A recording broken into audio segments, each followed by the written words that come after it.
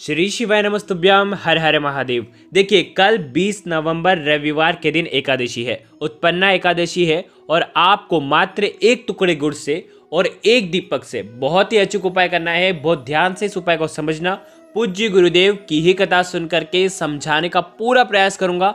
लेकिन वीडियो में आगे बढ़ने से पहले वीडियो को लाइक करें और चैनल पर अगर पहली बार आए हैं तो चैनल को ज़रूर सब्सक्राइब करें। देखिए, कल का दिन जो है, वो बहुत ही खास है।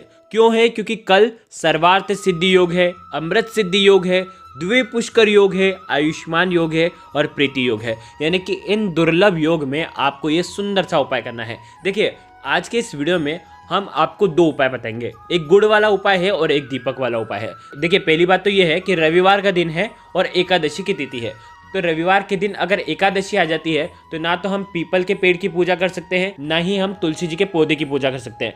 देखिए, एकादशी के दिन आप जो भी आप भगवान विष्णु की विधि विधान से पूजा करते हैं, लेकिन एकादशी के दिन आप सुबह से लेकर के रात्रि तक मात्र आपको एक दीपक तैयार करना है, आटे का। ध्यान रखें, आटे का दीपक तैयार करें और उसके अंदर आपको गोल बाती लगानी है, उसके अंदर आपको घी डालना है और मात्र एक चुटकी हल्दी डालना है। और ये उत्पन्न एकादशी के दिन ओम नमो भगवते वासुदेवाय का ग्यारह बार जाप करके आपको तुलसी जी के वहाँ पर आपको रख देना है।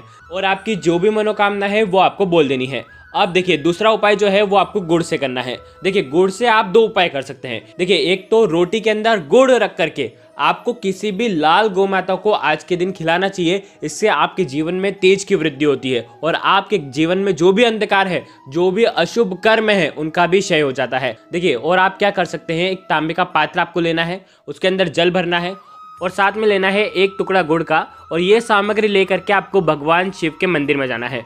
अब आप क्या करेंगे, तांबे के पात्र के अंदर जो जल है, उसके अंदर आपको गुड़ का टुकड़ा डालना है, ओम नमो भगवते वासुदेवाय का 108 बार जाप करके। अब आप क्या करेंगे, ये जो गुड़ वाला जो जल है, ये भगवान शिव के ऊपर आपको अर्पित कर देना है श्री शिवाय नमस्तभ्यम का जाप करते हुए। और आपकी जो भी कामना है जो कई दिनों से परिपूर्ण नहीं हो रही है वो आप कामना करके, ये आप अर्पित कर दें। देखिए, ये जो उपाय है, आप सुबह से लेकर के रात्रि तक जब आपकी इच्छा हो, तब आप ये उपाय कर सकते हैं। अगर आपको कुछ भी चीज़ समझ में ना आए तो कमेंट में पूछ लेना। बहुत ही दुर्लभ योग के साथ ये एकादशी है ये। श्री शिवाय नमस्तुभ्यम। हर हर महा